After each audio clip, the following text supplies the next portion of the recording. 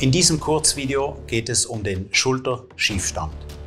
Ich möchte Ihnen zeigen, wie es dazu kommt und was Sie konkret dagegen tun können. Vielleicht überrascht es Sie, dass die Ursache des Schulterschiefstands häufig gar nicht in den Schultern selbst liegt. Doch alles der Reihe nach.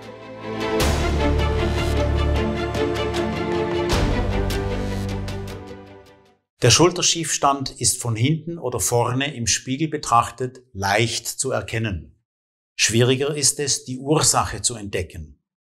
Eher selten ist eine Schulter isoliert hochgezogen oder abgesenkt.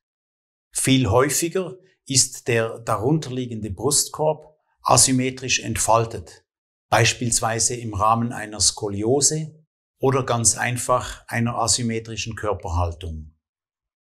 Jeder Beckenschiefstand führt sekundär zu einer mehr oder weniger ausgeprägten Schulterasymmetrie. Die funktionelle Therapie geht den individuellen Ursachen des Schulterschiefstandes auf den Grund und verändert sie. Diagonale Entfaltung des Rumpfes auf der tieferen Seite, muskuläre Entspannung bei hochgezogener Schulter, mehr Weite und Breite bei vorverlagerter Schulter, Kräftigung der Muskulatur bei Hängeschultern. Entscheidend ist in allen Fällen der anschließende Transfer in den Alltag.